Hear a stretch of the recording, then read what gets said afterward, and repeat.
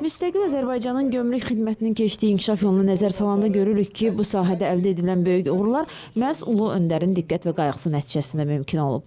Bunu milli lider Heydər Əliyevin anadan olmasının 96-cı il dönümü tədbirləri çərçivəsində Dövlət Gömrük Komitəsinin akademiyasında keçirilən and içmə mərasimində Dövlət Gömrük Komitəsinin sədr Səfər Mehdiyev deyib. Bildirib ki, gömrükçülər Heydər Əliyev siyasətinə sadiq olduqlarını sübut edirlər və Azərbaycanın iqtisadi təhlükəsizliyini qorumaq üçün and içirlər. Ulu öndərimiz bütün sahələrdə olduğu kimi müasir Azərbaycan gömrük xidmətinin formalaşmasında da yaxından iştirak etmiş, onun tövsiyə və tapşırıqları, sərəncamları sayəsində müasir gömrük xidmətimiz formalaşmışdır.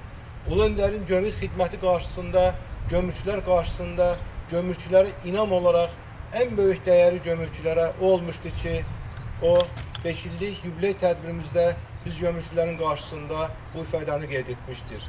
Gömrük orqanları hər, bir ölkənin müstəqilliyinin atributlarından biridir.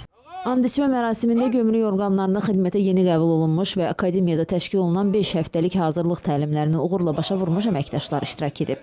Təlimləri uğurla başa vuran 139 əməkdaş gömrükçü andı içib və hərbi marşın sədaları altında təntənəli şəkildə tribuna önündən keçiblər.